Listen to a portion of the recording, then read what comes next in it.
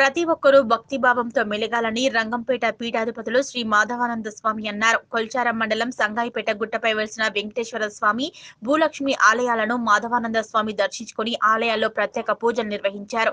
ఎనగండ్ల పాఠశాలలో బోధిస్తూ ఇటీవల రాష్ట్ర స్థాయి ఉత్తమ ఉపాధ్యాయుడిగా ఎంపికైన స్థానిక ఉపాధ్యాయుడు బట్టి వెంకటరాజు మాధవానంద స్వామి వారి ఆశీస్సులు పొందారు. అనంతరం మాధవానంద స్వామి మాట్లాడుతూ ఆలయాల్లో ధూపదీప నైవేద్యాలతో పాటు గ్రామాలు ఎంతో సుభిక్షంగా ఉంటాయని అన్నారు.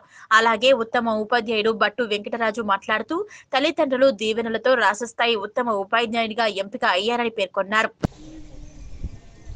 మన గ్రామంలో అన్ని దేవతా మూర్తులు ఉన్నారు శ్రీరామాన్ని దేవాలయం కూడా మన గ్రామంలో ఉంది. వెంకటేశ్వర స్వామి ఉన్నాడు. దుర్గామాత. ఈ విధంగా చెప్పినంటే అన్నీ కూడా. ఇంకా చెప్పాలంటే మా గ్రామంలో ఏంటంటే మతాలకు కులాలకు అతీతంగా కూడా.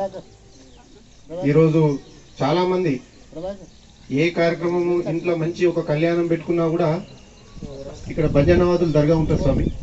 కంపల్సరీ దర్గా కూడా చాలా మంది దర్గా కూడా చేస్తారు. అంటే మతాలకు కులాలకు అతీతంగా చర్చిలు కూడా మంచి నిర్మాణం చేపట్టడం జరిగింది. కార్యక్రమాలన్న సారు వృత్తిపరంగా కూడా నిర్లక్ష్యం చేయడు. కాబట్టి ఈ రోజు మన రాష్ట్ర ప్రభుత్వం గుర్తించి ఆయనకు రాష్ట్ర అవార్డు అంటే చిన్న విషయం కాదు ఉత్తమ ఉత్తమ ఉపాధ్యాయుడు అంటే.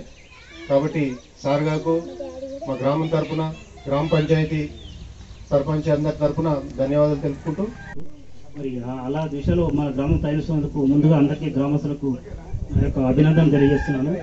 మరి గ్రామ పెద్దల యొక్క సహకారంతో గతంలో కూడా గ్రామంలో ఉన్నటువంటి జీర్ణోద్ధరణం కావించబడినటువంటి దేవాలయాన్ని పునరుద్ధరించడం జరుగుతుంది. అదేలో మరి అందరి గ్రామస్తులు కూడా మరి స్వామివారి కృపకు పాత్రలు అవ్వాలని చెప్పి ఈ సదనంలో నేను కోరుకుంటున్నాను.